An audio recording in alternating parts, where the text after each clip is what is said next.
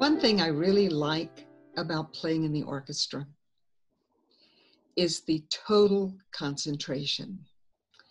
When you play in the orchestra, you don't think about anything else.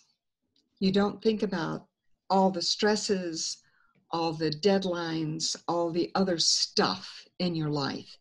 You are totally absorbed by the music. You, you are part of the music. And that is one of the things that makes me want to keep playing and playing and playing and not stop.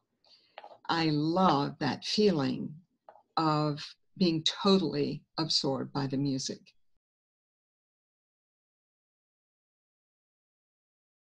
I moved to Johnstown in 1970. Uh, John and I had just graduated from college and we got married that summer and we showed up in town because John was going to work for Bethlehem Steel. And Fred Pullen told me there was a symphony that I should join. And so I just showed up at a rehearsal and I found a seat in the back of the second violins. And so that's when I started, 1970.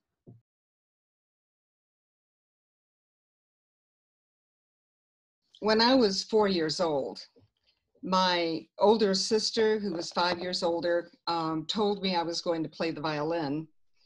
Uh, she had started playing the violin because she saw a friend playing the violin. And um, actually, she taught me to ride a bicycle and anything I learned major. It was this sister named Damaris who taught me. So I began playing open strings on a quarter size violin because it was too big for me. I was the youngest of four children, and the plan was that I would be the second violin.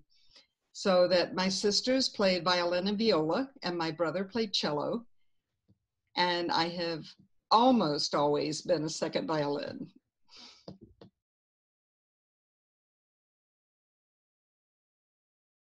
I think it was about six when my father arranged a hymn for us to play as a quartet. He took the hymn now the day is over. And he broke it into parts that we were for our skills. and that is the one I remember the best is playing Now the Day is Over.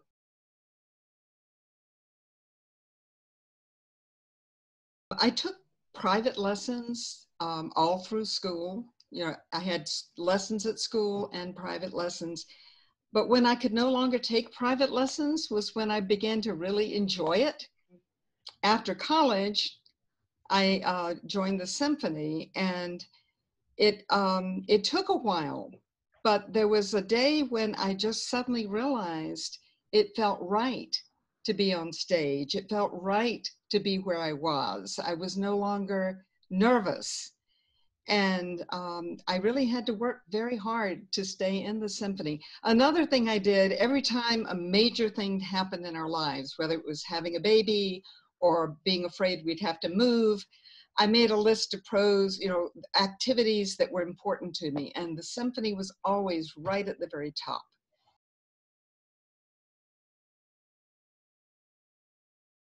Well, I knew that it was very special to be able to play in this um, quality of an orchestra.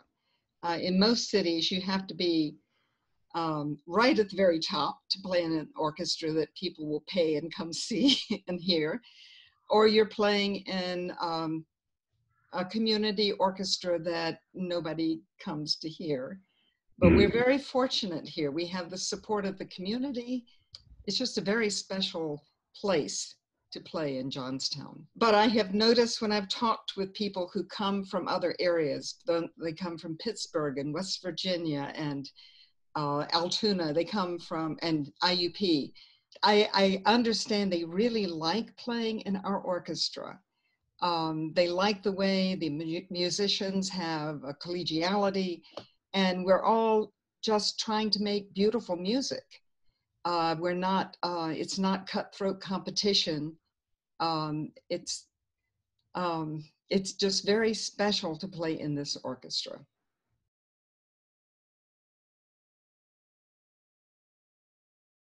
I hope it's just a natural part of how we function. Um, I also play in the community strings, and that is a group that um, is so enthusiastic and so appreciative of the opportunity to play. And we play real music. These are people who uh, either took lessons as children and stopped, or they began as adult beginners. Mm-hmm. And I, it's actually, it, at first, it was a little bit of a challenge to play with them because I am so used to listening to other people and adjusting what I'm playing to other people, the sounds I hear. And in that group, initially, I had to remember I've got to play what I know is right.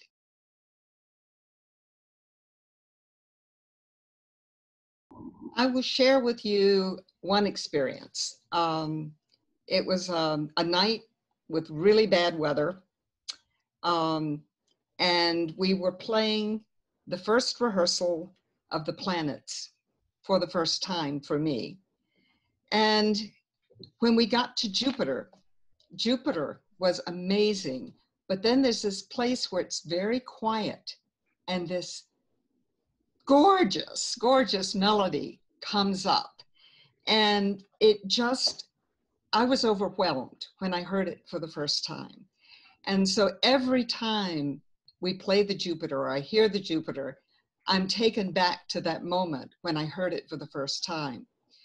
Um, so it's very hard to pick a piece and a moment, but that that's what I keep going back to is Jupiter.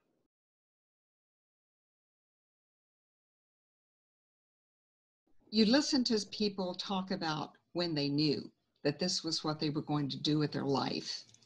And it's a calling. It's a calling to enter, to devote your whole life to music. And it's a calling that I accepted to become an Episcopal priest. This is for everybody. This, this music that we play is for the whole community.